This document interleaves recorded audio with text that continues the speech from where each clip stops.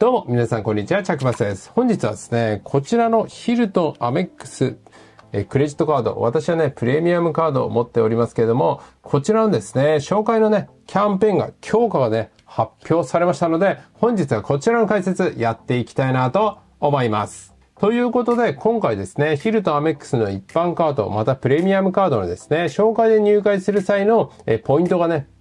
アップしているっていう風になりますんで、解説ね、やっていきたいななんていう風に思ってるわけなんですけども、アメックスのね、紹介プログラムね、一部ね、規約変更になりましたということで、SNS での紹介っていうのはですね、基本的に禁止になりましたということで、私の方でもですね、公式にね、あの、回答いただきまして、まあ、こちらの動画ね、見ていただければ内容わかるようになっておりますので、まあ、気になる方はぜひね、こちら、見ていただければな、なんていう風に思います。で、今回ですね、ヒルトンアメックス一般カード、またね、プレミアムカードね、新規入会キャンペーン、強化ね、来ているわけなんですけども、まあ今までのね、キャンペーンと、またね、クレジットカードのね、特典などもすべてね、紹介していきたいな、なんていうふうに思いますので、気になる方はぜひね、最後までご覧いただければなと思います。それではですね、ヒルトンアメックス一般カードから、えー、解説ね、していきたいなと思うんですけども、えー、まずね、ヒルトンアメックス一般カード、こちらは年会費が16,500円、家族カード1枚無料でね、発行することができるクレジットカードっていう風になります。で、一番最初にね、言っておきますけども、このヒルトンアメックスの一般カードっていうのはね、本当にコスパ最強のクレジットカードっていう風になりますんで、もしね、お試しで発行されたいっていう方は、基本的にね、このヒルトンアメックス一般カードがね、おすすめっていたうちになります。で、ヒルトンアメックス一般カードの場合は、発行後3ヶ月以内に30万円の利用で1万ポイント、50万円以上の利用で2万5千ポイント、75万円以上の利用で2万ポイントということで、この75万円分の通常利用分のね、1万5000ポイント、このヒルとアメックス一般カードっていうのは、100円でね、2ポイント貯まるクレジットカードっていう風になりますんで、こちらを通常分入れるとですね、合計7万ポイントが獲得することができるっていたちになります。え、こちらはですね、えー、2024年の1月の31日水曜日申し込み分までね、こちらのキャンペーン適用っていう風になっておりますんで、まだね、11月の終わりっていう風になりますんでね、ゆっくり検討していただいて発行ね、していただければな、なんていう風に思います。で、次にですね、このね、ヒルトアメックス一般カードね、まあ、どういった感じでコスパ最強なのかっていう話なんですけども、まずですね、年会費が、えー、16,500円ということで、アメックスのクレジットカードの中ではかなり年会費の安い部類に入るね、クレジットカードっていう風になります。またね、年会費が安いにもかかわらず、家族カードが1枚無料でね、え利用することができるっていう風になりますんで、これも非常にね、おすすめのポイントっていった形になります。このね、ヒルトアメックス一般カードの還元率は100円決済で2ポイント、えヒルトンホテル利用時には100円で3ポイントがね、貯まるクレジットカードっていう風になります。で、このね、100円で2ポイント、基本的には貯まるわけなんですけども、アメックスにはですね、こういった感じでポイント加算対象内な、え主な利用先であったり、200円で1ポイントの、え、ご利用先ということで、まずね、ポイント加算対象外のね、利用先ということで、えー、Apple Pay のチャージのね、7個チャージとか、えー、和音チャージとかね、えー、モバイルパスもモバイルイコか、えーえー、モバイルスイカとかね、こういったものは基本的にね、えー、ポインえー、利用していただいてもポイントがつかないっていった形になります。で、結構ね、質問いただくんですけども、こういったね、ポイントがつかない利用先、またね、200円で1ポイントの利用先ありますけども、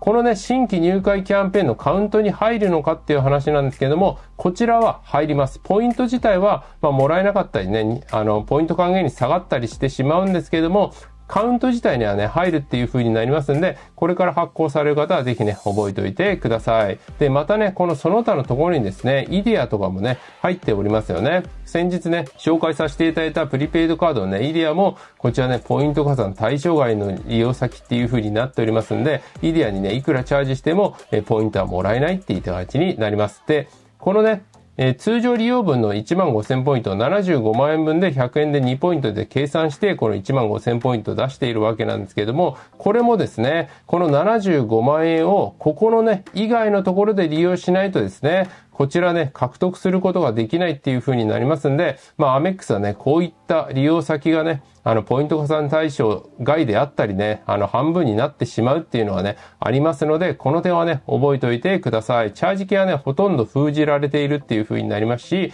まあ、国税とかね、税金に関しても、基本的にね、あの、半分の還元率っていう風になりますんで、この点はね、注意していただきたいな、なんていう風に思います。後でね、あの、スイカチャージのルートとかもね、あの、紹介していきたいなと思うんですけどども、ひとまずね、こういったものはね、アメックスには存在しますので、この点はね、注意してください。で、次にですね、貯まるポイントはヒルトンホテルポイントということで、ヒルトンホテルポイントの使い道は、一応マイルにね、交換することは理論上はできるんですけども、ポイント交換率は本当にめちゃくちゃ悪いです。1万ポイントは1000マイルにしかならないっていう風になりますんで、基本的にヒルトンホテルポイントの使い道っていうのは、ヒルトンホテルでね、利用していただくのが非常におすすめっていた味になります。で、1ポイント1円以上でね、利用されたいっていう方は、京都の6京都が、まあ、基本的にね、1ポイント1円以上ね、行く場合が結構多いので、こちらがおすすめですかね。まあ、それ以外にね、基本的にヒルトンホテルポイントの価値っていうのは0.3とか0.5とか言われておりますんで、まあ、そのぐらいでね、利用できればっていうところですかね。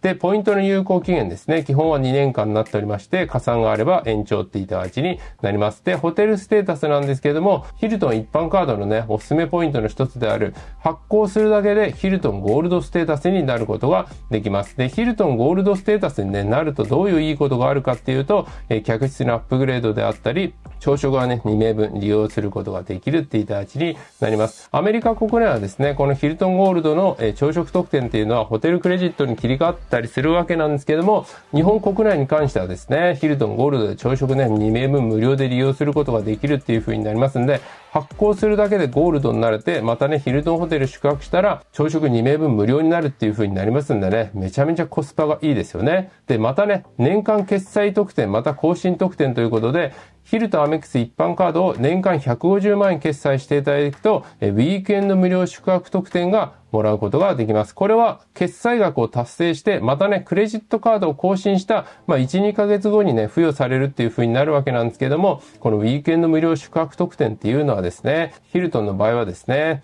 対象外ホテルがですね、一部あるわけなんですけども、それ以外のホテルだったらね、どこでも利用することができますので、日本国内であればですね、どこでも利用することが、対象のね、客室が空いていればね、利用することができるっていう風になりますんで、私もね、ヒルトンモリジムでこちら利用させていただきましたけれども、一泊10万超えのね、ホテルでも、空室さえあれば利用することができるっていう風になりますんで、こちらね、非常におすすめです。一応、ウィークエンド無料宿泊特典ということで、え金、土、日の宿泊でしか利用することができないっていった形になります。またね、HPCJ の特典ですね、年会費優遇で利用することができて、アメックスのクレジットカードなんでね、空港のカードラウンジが同伴1名まで無料で利用することができます。で家族カードを発行していただくと、2枚ね、本会員の家族会員発行できますけども、1枚に対して同伴1名までね、利用することができますので、合計4名まで利用することができます。また海外旅行券は利用付帯、ショッピングプロテクション、オンラインプロテクションとか、まこういったプロテクションもついております。またね、おすすめポイントの一つなんですけれども、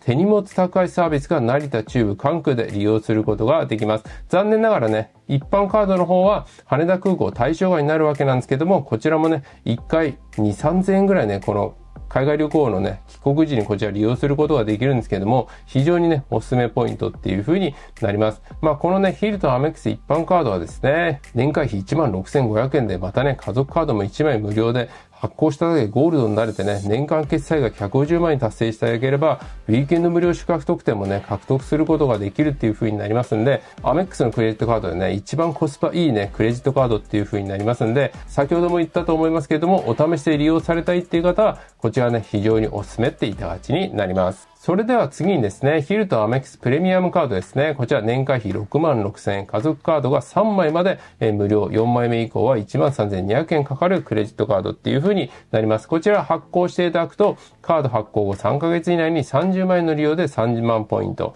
125万円分の利用で2万7500ポイント、175万円以上の利用で3万ポイント。で、通常のご利用分が5万2500ポイントということで、合計14万ポイントを獲得することができるっていった値になります。14万ポイントあればですね、日本国内だったら、まあ、すごい安いホテルだったらね、数泊することができますし、高級ホテルでも、まあ、一泊はね、宿泊することができるっていう風になりますんで、こちらもね、結構いいのではないのかな、なんていう風に思います。で、このね、ヒルトンアメックスのプレミアムカードね、年会費6万6千ということで、非常に高いですよね。なぜねね、こんなに年会費が高いのかっていうとですね、先に紹介するとですね、このね、ヒルトアメックスプレミアムカードっていうのは、発行するだけでね、ヒルトンゴールドステータスになります。これはね、一般カードも一緒なんですけども、年間決済特典がね、非常に強くて、200万円決済すると、ヒルトンダイヤモンドステータスがね、獲得することができるクレジットカードなんですよね。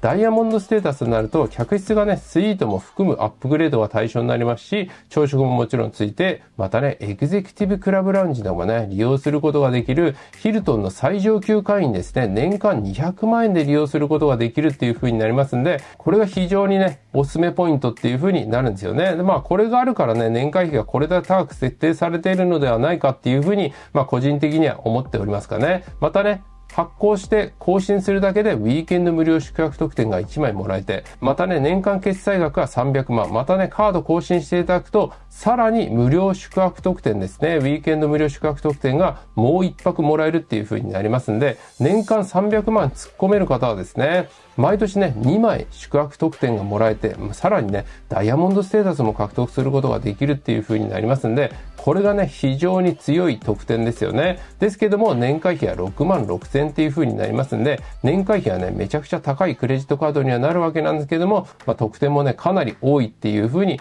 なります。それ以外の特典なんですけども、家族カードがね、3枚まで無料ですので、本会員と、え、家族カード3枚まで、え、無料で発行することができますので、え、4人家族とかでね、えヒルとアメックスで皆さん使って決済集めるなんてことも利用することができます。またね、還元率なんですけども、100円で3ポイント、えー、ヒルトンホテル利用時の時は100円で7ポイントが獲得することができて、貯まるポイントとか、えー、マイルの交換レートとかは先ほどとね、同じって板がちになります。それ以外ですね、カードラウンジとかもね、一緒ですし、まあ、海外旅行保険もね、利用付帯で、こちら、プレミアムカードになるとですね、航空遅延とかね、キャンセル、ショッピング、リターン、スマートフォンプロテクションとかも追加になります。で、またね、帰国時手荷物高いサービスなんですけれども、羽田空港はね、プレミアムカードの方は、え付帯されるって板がちになります。まあ、こういった感じになりまして、で、このね、ヒルとアメックスプレミアムカードね、どういった方がおすすめなのかというと、まあ、年会費ね、6万6千円を払ってもですね、まあ、年間決済額ね、200万円で、えダイヤモンドステータスね、獲得されたいっていう方は、このクレジットカードね、非常におすすめって板がちになります。まあ、年間200万円でね、ダイヤモンドっていうのはね、かなりね、えー、ハードルとしてはね、低いと思います。ヒルトンの最上級ステータスですからね。マリオットアメックスプレミアムカードっていうね、ホテルで有名なね、クレジットカードがございますけども、あちらのプラチナステータスはね、400万円ですからね、ヒルとアメックスはね、年間200万円でダイヤモンドになれるっていう風になりますんで、やはりこちらはね、非常に強いですよね。まあ、こういった形になります。で、今回ですね、一般カードとプレミアムカードね、キャンペーン来ているわけなんですけども、このキャンペーンがですね、果たして今回ね、まあ、お得なのかっていうところなんですけども、正直ですね、こちらはね、前回の、ヒルとアメックスの一般カードとプレミアムカードの新規入会キャンペーンの特典なんですよね。こちらはいつだったかな？えっと、夏前ぐらいにね、やってたキャンペーンだと思うんですけども、一般カードの方はですね、えっと、合計100万円の利用でですね、えウィークエンド無料宿泊特典が1泊もらえて、さらに3万ポイントがもらえるキャンペーンだったんですよね。で、またね、プレミアムカードの方はね、こちら本当にすごくて、250万っていうね、結構ね、3ヶ月以内に支払うにはね、かなり大きい金額なんですけども、ウィークエンド無料宿泊特典が200分っていう風になりまして、さらにね、ポイントも10万5000ポイントがもらえるね、キャンペーンだったんですよね。ですので、これすごいですよね。無料宿泊が2泊ついて、さらにえポイントは10万5千ももらえたね、キャンペーンに比べてしまうとですね、今回のキャンペーンね、ちょっとね、少ない部分がね、あるかななんていうふうに思うんですけども、こういったね、無料宿泊がもらえるキャンペーンがね、今後どのぐらいのね、頻度で来るかっていうのはね、正直全然わからないっていう風になりますんで、まあ、14万ポイントね、プレミアムカードだったらもらえますし、まあ、一般カードの場合はね、私は本当にね、コスパ最強だと思っていて、まあ、いつ発行してもね、まあ、いいんじゃないかなっていうぐらいね、このヒルとアメックス一般カードをお勧めさせていただいておりますんで、まあ、今回のタイミングでもですね、発行していただいてもね、いいのではないのかななんていう風に思うんですけども、まあ、このね、宿泊券がね、どうしても欲しいっていう方は、まあちょっとね、様子見てもいいかもしれないんですけども、これもね、来年また来るかって言われるとね、正直わかんない部分がありますんでね、ここはね、お好みっていう風になりますかね。それでは次にですね、モバイル suica へのチャージ方法と、またね、アメックス経由でですね、投資信託購入する方法をね、改めて解説しておきたいなと思うんですけども、まずね、モバイル suica ですね。まずね、モバイル suica ですね。このモバイル suica っていうのは先ほど言った通りですね、Apple Pay とかね、えー、カードの登録でこのモバイル suica っていうのは直接チャージすることができるわけなんですけども、えー、残念ながらね、還元がゼロになってしまうっていう風になりますんで、まあ、少しでもね、お得にチャージしたいっていう方は、まあ、こちらのルートがね、お勧めっていただちになります。まずね、アメックスから、えー、キャッシュにね、チャージしていただきます。キャッシュから、えー、ANA Pay ですね、チャージしていただいて、ANA Pay から、えー、トヨタウォレットですね。で、トヨタウォレットから、モバイル suica っていう風になります。まあ、こちらね、めんどくさいよっていう方は、ANAPay から直接モバイル suica でも OK っていた形になります。これをやっていただくと、アメックスのね、還元は、まあ、半分取れるっていう風になりますんで、ヒルとアメックスプレミアムカードであれば、えー、100円で本来3ポイントなんですけれども、まあ、200円で3ポイント獲得することができます。で、キャッシュでね、0.2%還元取れて、まあ本当はね、ここかましたくないんですけども、これかまさないとね、ANAPay にね、チャージすることができないっていう風になりますんで、こちらをね、かましております。で、ANAPay からトヨタウォレットですね。トヨタウォレットの時に ANAPay のね、還元が ANA マイル還元率0.5%還元が取れて、で、トヨタウォレットのね、えー、モバイルスイカチャージしていただくと1%還元が取れます。こちらは Android、iPhone どちらの方もね、利用することができて、一応ね、2.2%還元が、まあ、取れるっていた形になります。モバイル suica ね、お得にチャージされたいっていう方は、まあ、こちらのルート組んでいただくか、ANAPay で ANAPay で直接ね、モバイル suica チャージしていただくか、